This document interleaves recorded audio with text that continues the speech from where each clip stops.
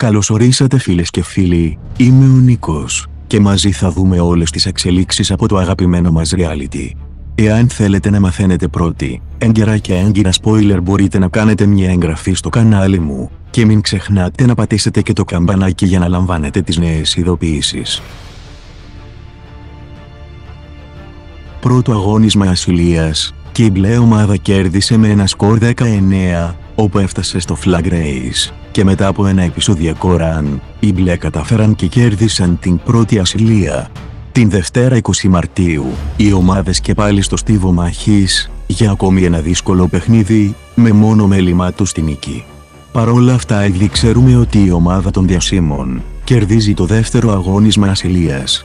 Μπροστά μας έχουμε τον τρίτο αγώνα ασυλίας για αυτή την εβδομάδα και πάμε να δούμε ποια ομάδα τελικά θα είναι αυτή που θα κάνει το δίωνα στις ασυλίες. Τα spoiler μίλησαν νωρίς και αναφέρουν και πάλι ότι η ομάδα που κερδίζει το τρίτο αγώνισμα ασυλίας είναι η μπλε ομάδα. Οι μαχητές τελικά κερδίζουν για δεύτερη φορά αυτή την εβδομάδα και κατακτούν την τρίτη και τελευταία ασυλία, με την κοκκινή ομάδα να βρίσκεται στην δύσκολη θέση, για να δώσει ακόμη δύο παίκτες προς αποχώρηση για αυτή την εβδομάδα. Μείνετε συντονισμένοι στο κανάλι μου και σύντομα θα είμαι κοντά σας. Φίλες και φίλοι, τα λέμε στο επόμενο βίντεο.